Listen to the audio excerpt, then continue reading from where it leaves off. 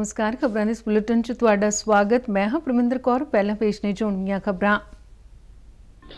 ਪੰਜਾਬ ਕਾਂਗਰਸ ਦੇ ਸਾਬਕਾ ਪ੍ਰਧਾਨ ਨਵਜੋਤ ਸਿੰਘ ਸਿੱਧੂ ਵੱਲੋਂ ਅੱਜ ਪਟਿਆਲਾ ਦੀ ਇੱਕ ਅਦਾਲਤ ਵਿੱਚ ਆਤਮ ਸਮਰਪਣ ਕਰਨ ਦੀ ਸੰਭਾਵਨਾ। ਸੁਪਰੀਮ ਕੋਰਟ ਨੇ ਰੋਡ ਰੇਜ ਮਾਮਲੇ 'ਚ ਉਹਨਾਂ ਨੂੰ ਬੀਤੇ ਦਿਨ 1 ਸਾਲ ਕੈਦ ਦੀ ਸਜ਼ਾ ਸੁਣਾਈ ਸੀ।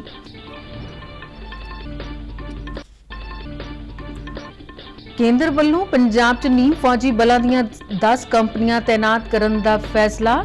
ਕੇਂਦਰੀ ਗ੍ਰਹਿ ਮੰਤਰੀ ਅਮਿਤ ਸ਼ਾਹ ਨੇ ਮੁੱਖ ਮੰਤਰੀ ਭਗਵੰਤ ਮਾਨ ਨੂੰ ਕੌਮੀ ਸੁਰੱਖਿਆ ਅਤੇ ਖੁਰਾਕ ਸੁਰੱਖਿਆ ਦੇ ਮੁੱਦੇ ਤੇ ਸਹਿਯੋਗ ਦੇਣ ਦਾ ਭਰੋਸਾ ਦਿਵਾਇਆ। ਪੰਜਾਬ ਸਰਕਾਰ ਨੇ ਕਿਹਾ ਕਿ ਝੋਨੇ ਦੀ ਸਿੱਧੀ ਬਿਜਾਈ ਲਈ ਬਿਜਲੀ ਦੀ ਘਾਟ ਨਹੀਂ ਆਉਣ ਦਿੱਤੀ ਜਾਵੇਗੀ।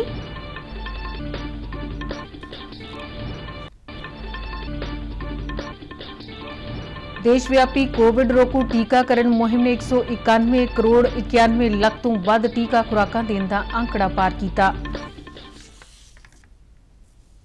ਤੇ ਹੁਣ ਖਬਰਾਂ ਵਿਸਥਾਰ ਨਾਲ। ਪੰਜਾਬ ਕਾਂਗਰਸ ਦੇ ਸਾਬਕਾ ਪ੍ਰਧਾਨ ਨਵਜੋਤ ਸਿੰਘ ਸਿੱਧੂ ਵੱਲੋਂ ਅੱਜ ਪਟਿਆਲਾ ਦੀ ਇੱਕ ਅਦਾਲਤ ਵਿੱਚ ਆਤਮ ਸਮਰਪਣ ਕੀਤੇ ਜਾਣ ਦੀ ਸੰਭਾਵਨਾ ਹੈ। ਪਟਿਆਲਾ ਜ਼ਿਲ੍ਹਾ ਕਾਂਗਰਸ ਕਮੇਟੀ ਵੱਲੋਂ ਕਮੇਟੀ ਦੇ ਪ੍ਰਧਾਨ ਅਨੁਸਾਰ ਸਿੱਧੂ ਅੱਜ ਸਵੇਰੇ ਅਦਾਲਤ ਵਿੱਚ ਪਹੁੰਚਣਗੇ ਤੇ ਆਤਮ ਸਮਰਪਣ ਕਰਨਗੇ। ਸੁਪਰੀਮ ਕੋਰਟ ਵੱਲੋਂ ਉਹਨਾਂ ਨੂੰ 1 ਸਾਲ ਦੀ ਸਜ਼ਾ ਸੁਣਾਏ ਜਾਣ ਤੋਂ ਬਾਅਦ ਸਿੱਧੂ ਕੱਲ ਰਾਤ ਹੀ ਅੰਮ੍ਰਿਤਸਰ ਤੋਂ ਪਟਿਆਲਾ ਸਥਿਤ ਆਪਣੀ ਰਿਹਾਇਸ਼ ਤੇ ਪਹੁੰਚ ਗਏ ਸਨ। ਇਸੇ ਦੌਰਾਨ ਸਿੱਧੂ ਨੂੰ ਪੰਜਾਬ ਸਰਕਾਰ ਵੱਲੋਂ ਮੁਹੱਈਆ ਕਰਵਾਈ ਗਈ 45 ਪੁਲਿਸ ਮੁਲਾਜ਼ਮਾਂ ਦੀ ਸੁਰੱਖਿਆ ਵੀ ਵਾਪਸ ਲੈਣ ਦੇ ਹੁਕਮ ਜਾਰੀ ਕਰ ਦਿੱਤੇ ਗਏ ਨੇ। ਸੁਪਰੀਮ ਕੋਰਟ ਨੇ ਕੱਲ 34 ਸਾਲ ਪੁਰਾਣੇ ਰੋਡ ਰੇਜ ਕੇਸ ਵਿੱਚ ਉਹਨਾਂ ਨੂੰ 1 ਸਾਲ ਦੀ ਸਜ਼ਾ ਸੁਣਾਈ ਸੀ। 1988 ਵਿੱਚ ਪਟਿਆਲਾ 'ਚ ਪਾਰਕਿੰਗ ਦੌਰਾਨ ਨਵਜੋਤ ਸਿੱਧੂ ਦਾ 65 ਸਾਲਾ ਗੁਰਨਾਮ ਸਿੰਘ ਨਾਮੀ ਬਜ਼ੁਰਗ ਨਾਲ ਝਗੜਾ ਹੋ ਗਿਆ ਸੀ ਅਤੇ ਹੱਥੋਂ ਪਾਈ ਮਗਰੋਂ ਗੁਰਨਾਮ ਸਿੰਘ ਦੀ ਮੌਤ ਹੋ ਗਈ ਸੀ। ਪੁਲਿਸ ਨੇ ਨਵਜੋਤ ਸਿੰਘ ਸਿੱਧੂ ਅਤੇ ਉਹਨਾਂ ਦੇ ਦੋਸਤ ਰੁਪਿੰਦਰ ਸਿੰਘ ਵਿਰੁੱਧ ਗੈਰ ਇਰਾਦਤਨ ਹੱਤਿਆ ਦਾ ਮਾਮਲਾ ਦਰਜ ਕੀਤਾ ਸੀ। ਇਸ ਮਾਮਲੇ 'ਚ ਸੈਸ਼ਨ ਕੋਰਟ ਨੇ ਸਿੱਧੂ ਨੂੰ ਸਬੂਤਾਂ ਦੀ ਘਾਟ ਕਾਰਨ ਬਰੀ ਕਰ ਦਿੱਤਾ ਸੀ, ਜਿਸ ਮਗਰੋਂ ਪੀੜਤ ਤੇ ਸੈਸ਼ਨ ਕੋਰਟ ਦੇ ਫੈਸਲੇ ਖਿਲਾਫ ਹਾਈ ਕੋਰਟ ਪਹੁੰਚ ਗਈ ਤੇ 2006 ਵਿੱਚ ਹਾਈ ਕੋਰਟ ਨੇ ਇਸ ਮਾਮਲੇ 'ਚ ਸਿੱਧੂ ਨੂੰ 3 ਸਾਲ ਦੀ ਕੈਦ ਅਤੇ 1 ਲੱਖ ਰੁਪਏ ਜੁਰਮਾਨੇ ਦੀ ਸਜ਼ਾ ਸੁਣਾਈ। ਨਵਜੋਤ ਸਿੰਘ ਸਿੱਧੂ ਨੇ ਹਾਈ ਕੋਰਟ ਦੇ ਫੈਸਲੇ ਵਿਰੁੱਧ ਸੁਪਰੀਮ ਕੋਰਟ ਤੱਕ ਪਹੁੰਚ ਕੀਤੀ ਅਤੇ ਸੁਪਰੀਮ ਕੋਰਟ ਨੇ 16 ਮਈ 2018 ਨੂੰ ਸਿੱਧੂ ਨੂੰ ਗੈਰ ਇਰਾਦਤਨ ਹੱਤਿਆ ਦੇ ਦੋਸ਼ ਵਿੱਚ ਲੱਗੀ ਆਈਪੀਸੀ ਦੀ ਧਾਰਾ 304 ਤੋਂ ਬਰੀ ਕਰ ਦਿੱਤਾ, ਪਰ ਆਈਪੀਸੀ ਦੀ ਧਾਰਾ 323 ਤਹਿਤ ਚੋਟ ਪਹੁੰਚਾਉਣ ਦੇ ਮਾਮਲੇ 'ਚ ਸਿੱਧੂ ਨੂੰ ਦੋਸ਼ੀ ਠਹਿਰਾਇਆ ਗਿਆ। ਇਸ 'ਚ ਉਹਨਾਂ ਨੂੰ ਜੇਲ੍ਹ ਦੀ ਸਜ਼ਾ ਨਹੀਂ ਹੋਈ ਅਤੇ ਸਰਵਉੱਚ ਅਦਾਲਤ ਨੇ ਸਿਰਫ 1000 ਰੁਪਏ ਦਾ ਜੁਰਮਾਨਾ ਲਗਾ ਕੇ ਛੱਡ ਦਿੱਤਾ। ਸੁਪਰੀਮ ਕੋਰਟ ਦੇ ਇਸ ਫੈਸਲੇ ਵਿਰੁੱਧ ਮ੍ਰਿਤਕ ਦੇ ਪਰਿਵਾਰ ਨੇ ਮੁੜ ਵਿਚਾਰ ਪਟੀਸ਼ਨ ਦਾਇਰ ਕੀਤੀ ਕੀਤੀ ਸੀ, ਜਿਸ ਤਹਿਤ ਸਿੱਧੂ ਨੂੰ ਸਰਵਉੱਚ ਅਦਾਲਤ ਵੱਲੋਂ 1 ਸਾਲ ਦੀ ਸਜ਼ਾ ਸੁਣਾਈ ਗਈ। ਕੇਂਦਰ ਨੇ ਪੰਜਾਬ 'ਚ ਅਮਨ ਤੇ ਕਾਨੂੰਨ ਦੀ ਸਥਿਤੀ ਨੂੰ ਬਣਾਈ ਰੱਖਣ ਲਈ ਨੀਮ ਫੌਜੀ ਬਲਾਂ ਦੀਆਂ 10 ਹੋਰ ਕੰਪਨੀਆਂ ਸੂਬੇ 'ਚ ਤਾਇਨਾਤ ਕਰਨ ਦਾ ਫੈਸਲਾ ਕੀਤਾ ਹੈ। ਪੰਜਾਬ ਦੇ ਮੁੱਖ ਮੰਤਰੀ ਭਗਵੰਤ ਮਾਨ ਨੇ ਕੱਲ ਨਵੀਂ ਦਿੱਲੀ 'ਚ ਕੇਂਦਰੀ ਗ੍ਰਹਿ ਮੰਤਰੀ ਅਮਿਤ ਸ਼ਾਹ ਨਾਲ ਮੁਲਾਕਾਤ ਕਰਨ ਤੋਂ ਬਾਅਦ ਇਹ ਜਾਣਕਾਰੀ ਦਿੱਤੀ। ਮੁੱਖ ਮੰਤਰੀ ਨੇ ਕੱਲ ਦੁਪਹਿਰ ਬਾਅਦ ਕਿਸਾਨਾਂ ਦੀਆਂ ਮੰਗਾਂ ਤੇ ਸੂਬੇ ਦੇ ਪਖਤੇ ਮਸਲਿਆਂ ਨੂੰ ਲੈ ਕੇ ਕੇਂਦਰੀ ਗ੍ਰਹਿ ਮੰਤਰੀ ਨਾਲ ਮੁਲਾਕਾਤ ਕੀਤੀ ਸੀ। ਗ੍ਰਹਿ ਮੰਤਰੀ ਨੇ ਭਗਵੰਤ ਮਾਨ ਨੂੰ ਭਰੋਸਾ ਦਿਵਾਇਆ ਕਿ ਉਹ ਰਾਸ਼ਟਰੀ ਸੁਰੱਖਿਆ ਅਤੇ ਰਾਸ਼ਟਰੀ ਖੁਰਾਕ ਸੁਰੱਖਿਆ ਦੇ ਮੁੱਦੇ ਤੇ ਉਹਨਾਂ ਨਾਲ ਕਦੇ ਵੀ ਮੁਲਾਕਾਤ ਕਰ ਸਕਦੇ ਨੇ। ਜਿੰਨਾ ਹੋਰ ਅਹਿਮ ਮੁੱਦਿਆਂ ਤੇ ਚਰਚਾ ਕੀਤੀ ਗਈ ਹੈ। ਉਹਨਾਂ 'ਚ ਕਾਨੂੰਨ ਤੇ ਪ੍ਰਬੰਧ ਦੀ ਸਥਿਤੀ ਨੂੰ ਬਰਕਰਾਰ ਰੱਖਣ ਲਈ ਨੀਮ ਫੌਜੀ ਬਲਾਂ ਦੀ ਮੰਗ ਅਤੇ ਭਾਖੜਾ ਬਿਆਸ ਮੈਨੇਜਮੈਂਟ ਬੋਰਡ ਦਾ ਮੁੱਦਾ ਵੀ ਸ਼ਾਮਿਲ ਸੀ। ਮੁੱਖ ਮੰਤਰੀ ਭਗਵੰਤ ਮਾਨ ਨੇ ਕਿਹਾ ਕਿ ਕੇਂਦਰ ਸਰਕਾਰ ਨੇ ਕਣਕ ਦੀ ਖਰੀਦ ਦੇ ਸੀਜ਼ਨ ਦੌਰਾਨ ਪੂਰਾ ਸਹਿਯੋਗ ਦਿੱਤਾ, ਜਿਸ ਲਈ ਉਹਨਾਂ ਕੇਂਦਰ ਸਰਕਾਰ ਦਾ ਧੰਨਵਾਦ ਕੀਤਾ। ਮੁੱਖ ਮੰਤਰੀ ਨੇ ਘੱਟੋ-ਘੱਟ ਸਮਰਥਨ ਮੁੱਲ ਤੇ ਬਾਸਮਤੀ ਦੀ ਖਰੀਦ ਕੀਤੇ ਜਾਣ ਲਈ ਨੋਟੀਫਿਕੇਸ਼ਨ ਜਾਰੀ ਕਰਨ ਦੀ ਮੰਗ ਵੀ ਕੀਤੀ। ਮੁੱਖ ਮੰਤਰੀ ਨੇ ਗ੍ਰਹਿ ਮੰਤਰੀ ਨੂੰ ਦੱਸਿਆ ਕਿ ਕਿਸਾਨਾਂ ਨੂੰ ਕਣਕ ਅਤੇ ਝੋਨੇ ਦੇ ਫਸਲੀ ਚੱਕਰ ਵਿੱਚੋਂ ਕੱਢਣ ਦੀ ਜ਼ਰੂਰਤ ਹੈ।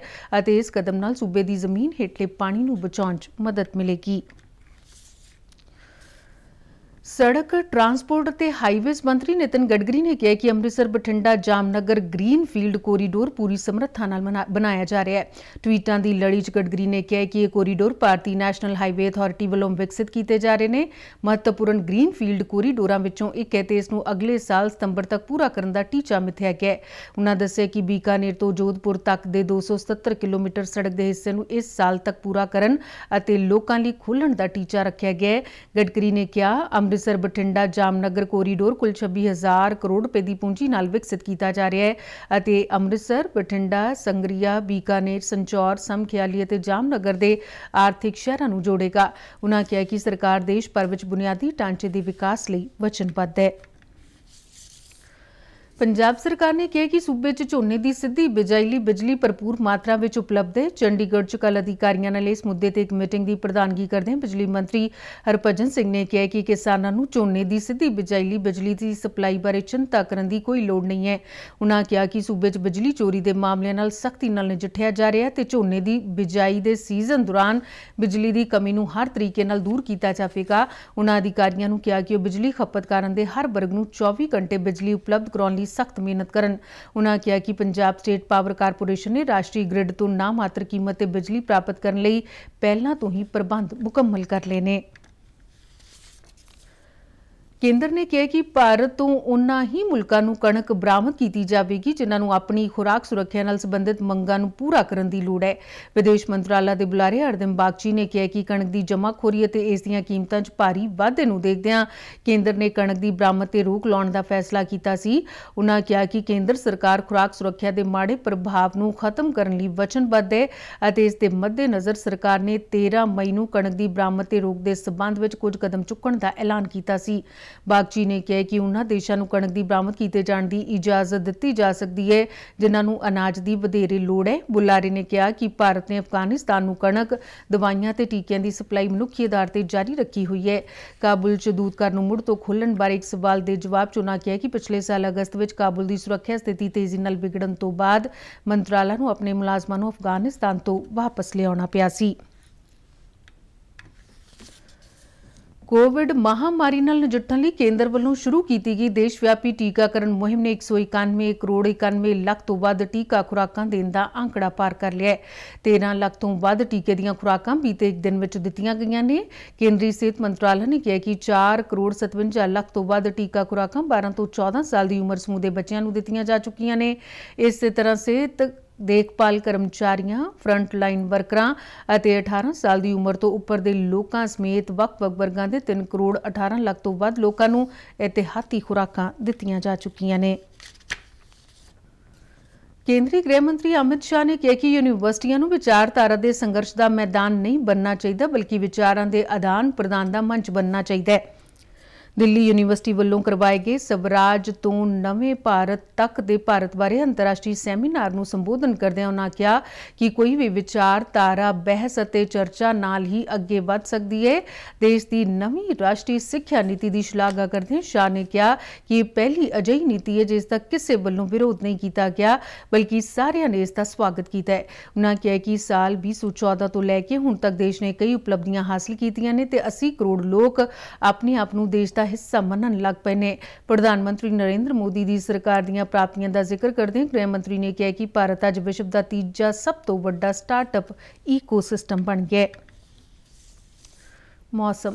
ਪੰਜਾਬ ਸਮੇਤ ਉੱਤਰੀ ਭਾਰਤ ਦੇ ਕਈ ਹਿੱਸਿਆਂ 'ਚ ਗਰਮੀ ਦਾ ਪ੍ਰਕੋਪ ਲਗਾਤਾਰ ਜਾਰੀ ਹੈ। ਲੋਕਾਂ ਦਾ ਅਤ ਦੀ ਗਰਮੀ ਤੇ ਤਾਪਮਾਨ 'ਚ ਭਾਰੀ ਵਾਧਾ ਹੋਣ ਕਾਰਨ ਘਰਾਂ ਵਿੱਚੋਂ ਨਿਕਲਣਾ ਮੁਸ਼ਕਲ ਹੋ ਗਿਆ ਇਸੇ ਦੌਰਾਨ ਭਾਰਤੀ ਮੌਸਮ ਵਿਭਾਗ ਨੇ ਅੱਜ ਤੋਂ 24 ਮਈ ਤੱਕ ਪੰਜਾਬ ਹਰਿਆਣਾ ਉੱਤਰੀ ਰਾਜਸਥਾਨ ਅਤੇ ਉੱਤਰ ਪ੍ਰਦੇਸ਼ ਵਿੱਚ ਤੂਫਾਨ ਆਉਣ, ਬਿਜਲੀ ਚਮਕਣ ਅਤੇ ਤੇਜ਼ ਹਵਾਵਾਂ ਨਾਲ ਹਲਕੀ ਬਾਰਿਸ਼ ਹੋਣ ਦੀ ਸੰਭਾਵਨਾ ਜ਼ਾਹਿਰ ਕੀਤੀ ਹੈ।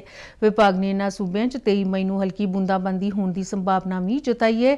ਵਿਭਾਗ ਅਨੁਸਾਰ ਅਗਲੇ 2 ਦਿਨਾਂ ਦੌਰਾਨ ਦੱਖਣ ਪੱਛਮੀ ਮੌਨਸੂਨ ਦੇ ਦੱਖਣੀ ਅਤੇ ਮੱਧ ਬੰਗਾਲ ਦੀ ਖਾੜੀ ਦੇ ਕੁਝ ਹਿੱਸਿਆਂ ਤੇ ਦੱਖਣੀ ਅਰਬ ਸਾਗਰ ਦੇ ਕੁਝ ਇਲਾਕਿਆਂ 'ਚ ਅੱਗੇ ਵਧਣ ਦੀ ਸੰਭਾਵਨਾ ਹੈ, ਜਿਸ ਦੇ ਪ੍ਰਭਾਵ ਅਧੀਨ ਜੰਮੂ ਅਤੇ ਕਸ਼ਮੀਰ, ਹਿਮਾਚਲ ਪ੍ਰਦੇਸ਼ ਅਤੇ ਉੱਤਰਾਖੰਡ ਵਿੱਚ ਵੱਖ-ਵੱਖ ਥਾਵਾਂ ਤੇ ਗਰਜ ਤੇ ਬਿਜਲੀ ਚਮਕਣ ਜਾਂ ਤੇਜ਼ ਹਵਾਵਾਂ ਚੱਲਣ ਅਤੇ ਗੜੇਮਾਰੀ ਦੇ ਨਾਲ-ਨਾਲ ਹਲਕੀ ਤੋਂ ਦਰਮਿਆਨੀ ਬਾਰਿਸ਼ ਹੋਣ ਦੀ ਸੰਭਾਵਨਾ ਹੈ। ਖਬਰਾਂ ਦੇ ਬੁਲੇਟਿਨ ਸਾਡੇ ਦਰਸ਼ਕ ਆਰਐਨਯੂ ਡੀਡੀਕੇ ਜਲੰਧਰ ਦੇ YouTube ਚੈਨਲ, Facebook ਪੇਜ ਅਤੇ Twitter ਹੈਂਡਲ ਤੇ ਵੀ ਦੇਖ ਸਕਦੇ ਨੇ। ਤੇ ਬੁਲੇਟਿਨ ਦੇ ਅਖੀਰ ਵਿੱਚ ਚੁਣਵੀਆਂ ਖਬਰਾਂ ਇੱਕ ਵਾਰ ਫਿਰ ਤੋਂ। ਪੰਜਾਬ ਕਾਂਗਰਸ ਦੇ ਸਾਬਕਾ ਪ੍ਰਧਾਨ ਨਵਜੋਤ ਸਿੰਘ ਸਿੱਧੂ ਵੱਲੋਂ ਅੱਜ ਪਟਿਆਲਾ ਦੀ ਇੱਕ ਅਦਾਲਤ ਵਿੱਚ ਆਤਮ ਸਮਰਪਣ ਕਰਨ ਦੀ ਸੰਭਾਵਨਾ। ਸੁਪਰੀਮ ਕੋਰਟ ਨੇ ਰੋਡ ਰੇਜ ਮਾਮਲੇ 'ਚ ਉਹਨਾਂ ਨੂੰ ਬੀਤੇ ਦਿਨ 1 ਸਾਲ ਕੈਦ ਦੀ ਸਜ਼ਾ ਸੁਣਾਈ ਸੀ।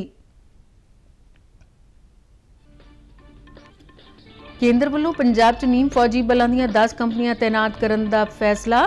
ਕੇਂਦਰੀ ਗ੍ਰਹਿ ਮੰਤਰੀ ਅਮਿਤ ਸ਼ਾਹ ਨੇ ਮੁੱਖ ਮੰਤਰੀ ਭਗਵੰਤ ਮਾਨ ਨੂੰ ਕੌਮੀ ਸੁਰੱਖਿਆ ਅਤੇ ਖੁਰਾਕ ਸੁਰੱਖਿਆ ਦੇ ਮੁੱਦੇ ਤੇ ਸਹਿਯੋਗ ਦੇਣ ਦਾ ਭਰੋਸਾ ਦਿਵਾਇਆ।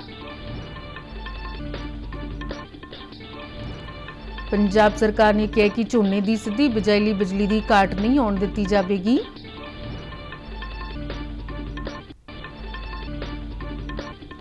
ਦੇਸ਼ ਵਿਆਪੀ ਕੋਵਿਡ ਰੋਕੂ ਟੀਕਾਕਰਨ ਮੁਹਿੰਮ ਨੇ 191 ਕਰੋੜ 91 ਲੱਖ ਤੋਂ ਵੱਧ ਟੀਕਾ ਖੁਰਾਕਾਂ ਦੇਣ ਦਾ ਅੰਕੜਾ ਪਾਰ ਕੀਤਾ।